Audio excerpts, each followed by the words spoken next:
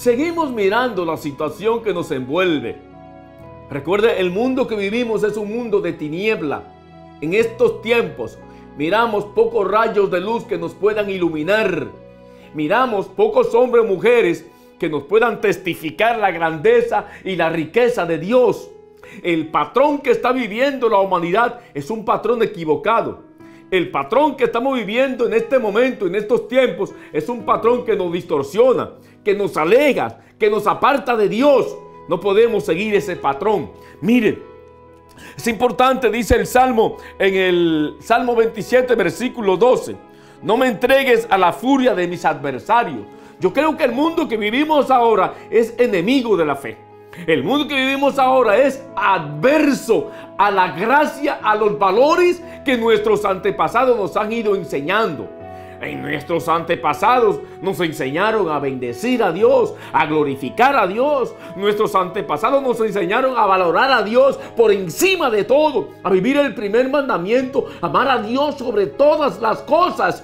Y eso no estamos viviendo en estos tiempos. Fíjense, cuando uno mira lo que está pasando, nos aterrorizamos, porque ya la generación a la cual yo pertenezco prontamente va a desaparecer.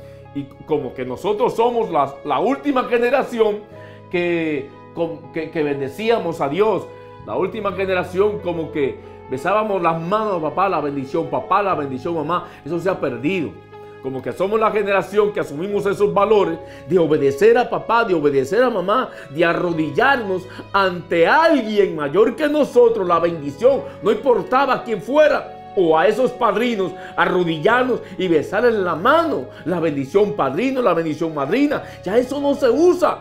O cuando usted se iba a acostar, o cuando nosotros nos íbamos a acostar o nos levantábamos o íbamos a salir, decíamos la bendición mamá, la bendición papá. Ya eso no se usa, eso ha ido desapareciendo. Son valores, son patrones de valores que nos enseñaron nuestros padres y eso nos va dando a entender la gracia. O sencillamente esos patrones que nos enseñaron papá y mamá que no había que escuchar esa música rara, esa música que hacía daño. Ahora no, ahora de reggae regado, a todos esos merengues regados, esa diablura que nos van quitando los valores, porque ahora se dice hay que usar droga, hay que usar alcohol y la juca y cuanta cosa y sexo desenfrenado.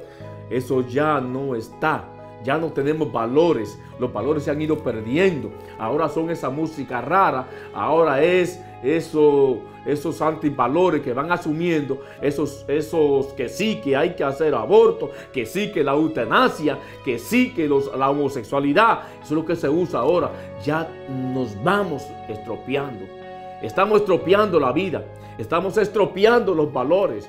Y ahora lo que domina son los antivalores y eso nos ha ido quitando a Dios y Dios va desapareciendo de los hogares, va desapareciendo de la familia, Dios va desapareciendo del hogar, ya no se reza el rosario como antes, ya no se va a la catequesis como antes, ya no se va a la misa como antes, ahora todo es difícil. Mire, mantén tu postura de fe. Por encima de todo, mantén tu postura de fe. Y ahora es difícil que se reúna la familia a hablar de Dios como se, reunía antes. Por eso, querido hermano y hermana, nunca olvides, no dejes que venga a tu casa la muerte. No permita que el enemigo reine en tu casa. No permita que el enemigo siga dirigiendo tu vida, siga dirigiendo tu familia. Enséñale a tus hijos a rezar. Enséñale a tus hijos a vivir la gracia. Enséñale a tus hijos a vivir, a vivir la moral cristiana. Enséñale a tus hijos que es importante una bendición. Que Dios te bendiga y que Dios te proteja siempre.